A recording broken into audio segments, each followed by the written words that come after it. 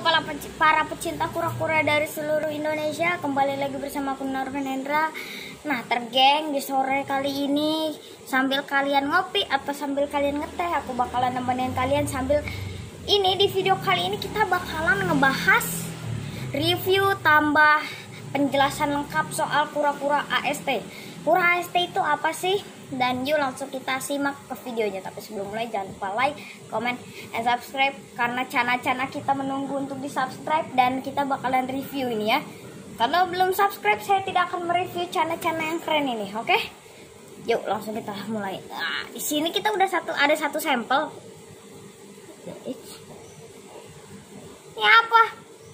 Nah teman-teman kita bakalan review AST ini. Ini adalah AST dari Bandung Snapping.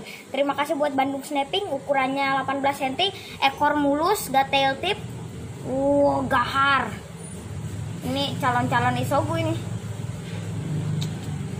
Hmm, imut guys, imut. Nih, imut nih. Nah teman-teman, AST dari Bandung Snapping ini sangat-sangat rakus ya. Mulusnya minta ampun. Terima kasih buat Bandung Snapping ya. Nah, kita bakalan pertama kita harus mengenal lebih dalam soal AST ya. Ini ukurannya 18 cm. Aku kangen AST ku yang dulu. Kalau kalian penonton sejatiku pasti tahu AST yang 18 cm ku itu itu hilang dan sekarang alhamdulillah sudah digantikan lagi dengan 18 cm pas. Nah, teman-teman, jadi kita langsung aja mulai. Tapi sebelum lanjut lupa like, comment, dan subscribe. Nah, apa sih kura AST itu? Kura-kura AST adalah kura-kura terbesar air tawar ya. Kura AST sendiri memiliki nama latin Macrocelis teminki.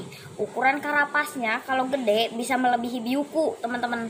Kalau biuku 80 cm, ini bisa sampai 1,2 meter. Dan ini bisa berat badannya sampai 100 kilo, teman-teman. Dan AST ini berbeda dengan kura-kura lain. Kalau kalian punya kura-kura lain seperti AST, maksudnya CST, FST atau Brazil, itu kan lebih tipenya mengejar ya. Kalau AST ini unik, teman-teman ya. Uniknya dari mana sih? Nih, lihat. Ayo backlight, backlight. Nah, kalau kalian lihat tuh tuh ada pink-pink. Nah, itu dinamakan lidah cacing, teman-teman. Lidah cacing itu adalah lidah dia untuk memancing ikan. Jadi nanti kalau misalnya kolam teman-teman lupa dikuras, terus kalian kasih ikan, Mas. Ini dia bakalan mangap di air dan lidahnya itu akan digoyang-goyangkan seperti seolah-olah cacing. Dan ikan yang ketipu sama dia bisa langsung dicakrok, mantep sampai mati sampai ditelan teman-teman. AST ini berbeda dengan CST ya. Kalau kalian tahu CST itu kan kalau CST itu kan dia lebih tipenya mengejar kalau ini menunggu teman-teman. Dan ukurannya lebih bisa jauh lebih gede dari CST AST ini tipenya kalem diem aja di air. Cuman ini gigitannya mencapai yang aku tahu 180 Newton kalau nggak salah ya dan AST ini punya keunikan yaitu dari karapasnya dan mulutnya teman-teman. Dia memiliki lidah cacing dan karapasnya itu beda sama CST teman-teman. Kalau kalian lihat kalau CST itu kan seperti apa ya? Dia tuh lebih kayak datar ya. Kalau AST ini lebih kayak ada spike teman-teman. Jadi duri-duri. Dan juga AST ini bisa dikawinkan dengan CST ya. Jadi istilahnya hybrid atau kawin silang. Dan hasilnya ya hybrid AST bisa bentuk postur tubuhnya tuh nggak tentu ya teman-teman. Bisa lebih mirip CST bisa lebih mirip AST kalau yang lebih mirip AST batoknya AST kepalanya CST kalau yang lebih mirip CST batoknya CST kepalanya AST itu mantep banget teman-teman hybrid. Dan AST ini seperti kura-kura lain dia punya genetik lain seperti leucistic, albino, hypo dan udah sih itu aja. Ivory bisa ivory ivory. Ini AST normal ya teman-teman. AST normal ini harganya cuy cukup murah. Untuk kisaran harga AST ini mulai dari baby oi oi mulai dari 1,2 sampai 2 jutaan. Kalau untuk indukan oh searching sendiri teman-teman.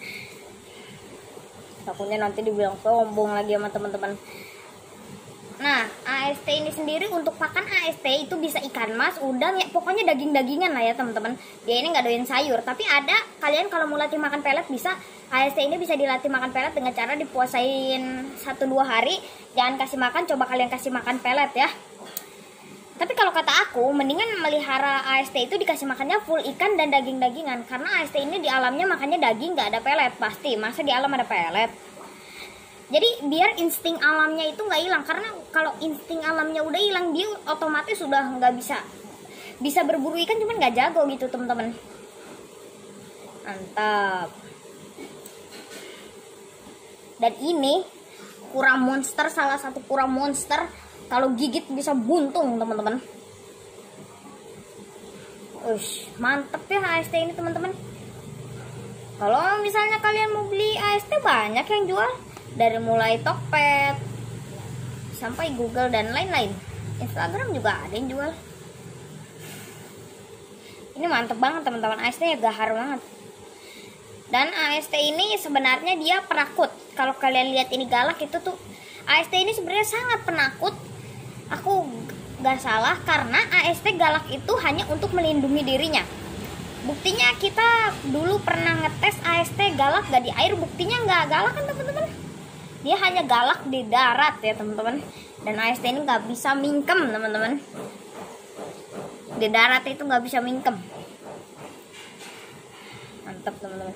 Dan satu peringatan buat kalian kalau kalian melihara snapping banyak tempatnya nggak ada boleh disatuin asal kalian ukurannya harus sama. Karena snapping itu dia apa ya kalau kata kita saling nyerang teman-teman.